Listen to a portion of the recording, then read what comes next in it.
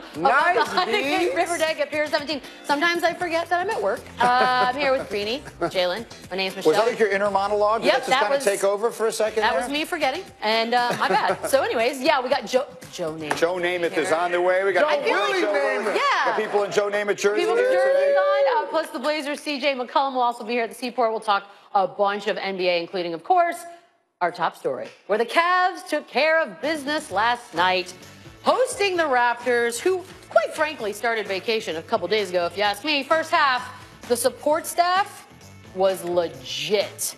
Kevin Love, who averaged barely 11 and a half points in the first round, turned things around in this round, 20 and a half, and was a vital piece of this sweep. This matchup works perfectly for Kevin Love. Valanciunas doesn't have the foot speed and the flexibility on the perimeter to stay with him. Serge Ibaka's been effective, and all of the other wing performers aren't big enough. So Kevin Love is having his way. Did you know that J.R. Smith last night reached 269 threes, which means he passed our friend Chauncey for ninth in NBA playoffs history? So there you go. LeBron doing LeBron things.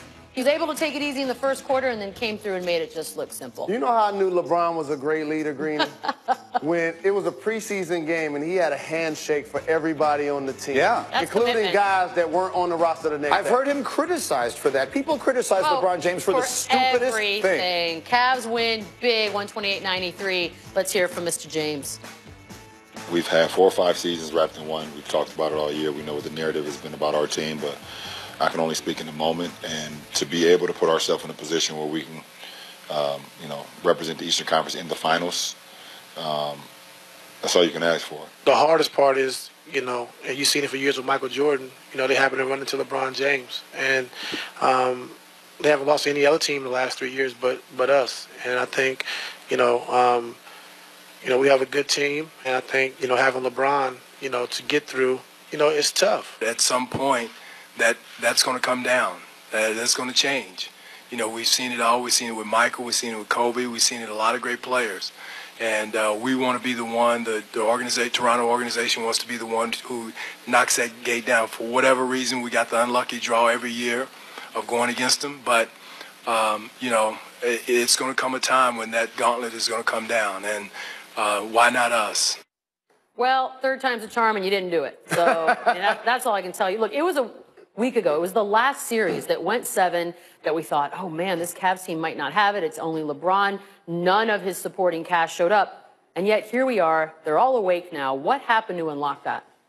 Well, a couple of things. The Toronto Raptors didn't show the level of effort needed in order to make the Cleveland Cavaliers work, like the Indiana Pacers did. People took for granted that the Pacers actually played hard. They actually were competitive. Victor Oladipo is a future star in the game. So now when you get to this series, this iteration of the Raptors have been together last, last handful of years. There's no way you should be getting swept in back-to-back seasons. I don't care if Michael Jordan's playing for the Cleveland Cavaliers. You have to find a way to at least win one or two games to create something to build on. When you get swept the way they did, they're not the team of the future, Dwane Casey. I know you have to get to the press conference and say, hey, that, Something. that gauntlet is going to come down of LeBron James. But when he goes down, if he goes down eventually, because it don't look like he's slowing down, that seems to be Boston in line. That seems to be Philly in line, not Toronto. Oh, you're 100% right. What it made me think of is there used to be a time in the NBA, and you'll know exactly what I'm talking about, where teams would knock on that door, knock on the door, and finally uh, break it down. The Pistons finally got the Celtics. The Bulls finally got the Pistons. A little bit of the formation of super teams has ended that. But you're right. The, the team to knock off LeBron is not going to be the Raptors. We talked about it earlier this morning. I don't know what they can change, but they it. need to change. This group, as currently constituted, is not ever getting to the finals. This was the season. All season long, we talked about blood in the water. This Cavs team didn't have it. So much so that they basically traded one team for an entirely new team to try to figure things out in time for the playoffs. This was the year that an Eastern Conference team really had a shot to make something different. And here we are. Here we are. And we got a big number. The Cavs starters, other than LeBron, shot 71% from the floor. It's unbelievable. That's the highest mark by his teammates in any playoff game, which includes his time with the Heat. Now, he improved to 5 0 in his career in series against one seeds in the East, which winning 20 of 24 games in those. And now it takes us to get up and go. We'll get you caught up on everything else. Uh, let's let's just concentrate on DeMar DeRozan. Again, was not on the floor in the fourth quarter.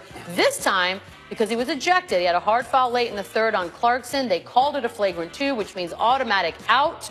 That's two games in a row, and they're out. He may have been just as happy to get off the floor at that point, but that point. didn't look like a flagrant two to me. I did not think you throw a player out of a game for that play. Greeny, this is a game. classic example of if this was a competitive series, they would have uh, called that a flagrant one, continue to play basketball. Since this is a not fair fight, and almost like when in boxing you just like stop the fight, we rather just send them to the locker room before this becomes an ugly. So if this was 2 1, this is two one flagrant one, go to the line, doesn't keep leave the playing game. basketball. You know what? And I, I can't believe I'm saying this because I always say it should all be the same all the time. I actually agree with them I, I doing don't, it that way. I don't hate it. As for the Celtics and Sixers, Brett Brown switched things up. TJ McConnell in for Covington, and he made it work. 39 minutes, 19 points, seven rebounds, five assists, a lot of spark. Philly was plus 18 with him on the court. They're plus 38 with him on the court in the series. And they're also 8 0 when McConnell scores at least 15 points this season. Not many games we're going to talk about Philly where Ben Simmons and Joel Embiid aren't the leading You're right. scorers. When that's Saric and TJ McConnell, that means they're doing something different. What is that? His ability to penetrate. Ben Simmons, because he's not much of a shooter, the offense looked a lot different. With McConnell out there, it functioned better. Does it work twice? Can he do it again? He can play because I like his game, but will they beat the Boston Celtics? No. Ah, Joel Embiid had a couple incidents last night. This one, we, we're deeming this the unfair fight with Terry Rozier, who's about, what, 10 inches shorter than he is? He is, they 10 both got inches. both technical fouls after this one. It was in the second quarter. Let's hear from Joel on what exactly is going on here. kept the ball away from me and uh, tried to punish me twice, but uh, too bad he's so short that he couldn't get to my face. Um, but uh, you know, I was, and I, I didn't understand why it was a techni- uh, double t- uh, double technical because I was just trying to get the ball and it was the one trying to swing. Greeny, he seems to be mocking the man's height here. What do you think about that? Well, considering the man he's mocking is two and a half inches taller than I am, I, I take great umbrage to that concept. This is also a new thing in the NBA now. Not giving the ball to the guy. You try to take it. He's not. I don't remember this happening back when you were playing because this would have led to a punch, an immediate punch in An the face. actual fight. Correct. And, and it's just one of those things where you're trying to get a competitive advantage. When your team has momentum, it happens a lot in rec ball. You try to take the ball from somebody, hurry up and get the ball in bounds before they can um, change the call. In rec, that's normally where this takes place, so that's why you don't allow the guy to snatch the ball. It was so early in the game, though, I thought, ooh, this could backfire for Joel L, because you never know. But Marcus Morris also had a couple moments to dance with Joel Embiid. And all he really did, I will say this, he remained silent, kept his hands up, and just gave him the 3 0 sign. Just very chill. One of the things that can't get lost in this Philadelphia win is Morris played well. Yep. He actually outscored Embiid and he made three threes. That's something that the Celtics are going to be able to build on. I like this trash talk. Did you see his between these two twin brother in a Celtics jersey courtside? Absolutely. That is a good There's brother. a difference between playing for Philly, Joel, and being That's from legit. Philly, Morris. And check it out, Raptors. Somebody figured out how to get over the obstacle. The name, of Washington Capitals, beating the Penguins 2 1 in overtime in game six last night. Yevgeny Kuznetsov was the uh, game winner. That means Washington, D.C. heads to their first championship round series in 20 years in any of the four major sports. Congratulations to them. It's been since the 98 NHL season that any of the DC teams made it to the final. So the longest drought now of any city Talk to me. not to be the final, Cincinnati. Oh, welcome, welcome, Cincinnati. You're on the board. Nashville Predators kept keeping their season alive. They forced a game seven with Winnipeg off of Forsberg, who scored twice. He has scored. A, that's the name we've said most in these hockey playoffs. Uh, game seven will be Thursday in Nashville, and Vegas Golden Knights just sitting back, waiting to play the winner of this Winnipeg, the smallest market in the NHL. What, what? That seems like a trivia question. What just happened? I like it. I feel Much smarter smaller now. than Cincinnati, which has not been in the finals in a long time. to baseball we go. George Springer had himself a really nice night in Oakland. Became the first Astros player to record six hits in a nine-inning game. He had four singles, a double, a homer, three RBI, and four runs, and his team won by 14. Which do you think happens more often, a six-hit game or a three-home run game? Which one do you think Three happens home more? run.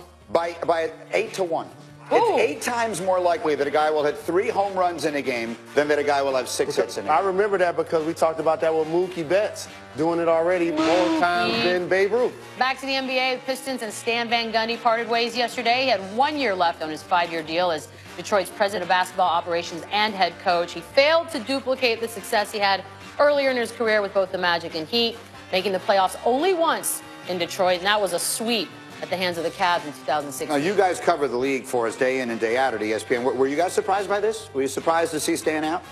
No, I don't think so. I think the I think the writing was on the wall. I think a lot of people looked at that Blake Griffin move as as sort of a desperation move that was not necessarily going to pan out, and it didn't because they came out hot. They won a couple games right out of the gate, and then. First and foremost, I love you, Stan. I'm grateful for all of the things that you did in the community that are way bigger than basketball, including your support of JRLA. Thank you very much.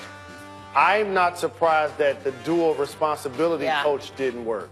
Because anytime you're the GM, usually your job is to forecast your roster now and project for the future. When you're the coach, your job is to win today's practice, win the first quarter, try to build on the success that we have with the guys that are in the locker room. That dual responsibility really hasn't worked for a lot of people that Can you give one title? sports. Can you say, hey, that's cool. What if I just stay as coach? Or what if I just because that's the thing is like you have both titles and then just like that, both titles are gone. Well, we saw with Doc Rivers. They Yeah, took away one won. of his titles with the Clippers, but when that happens, it almost seems like eh, he, he inevitably is not going to be there much longer. I'm trying to think of examples in that sport of people who have both of those roles and it going really, really, really well.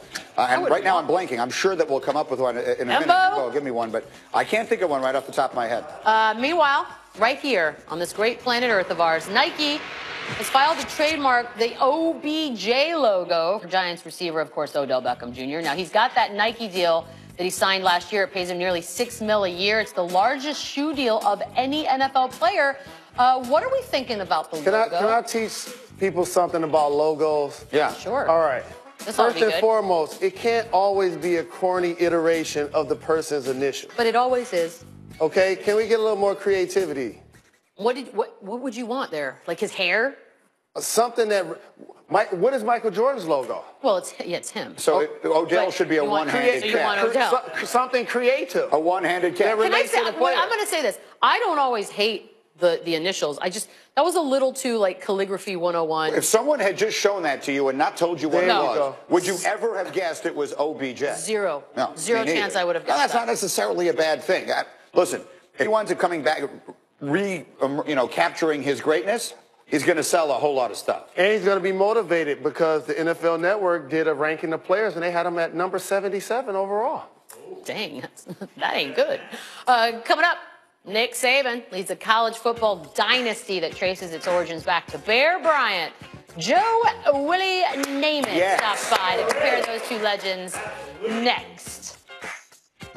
And coming up next, Hall of Famer, he will be here, will join us in studio. His alma mater, Alabama, has produced eight Pro Football Hall of Famers. Only three schools have produced more. Can you name them? Oh, it's a good one. that That is a good one. Northwestern and who? Hall of Famers, then Alabama. At Bridgestone, our engineers want to help make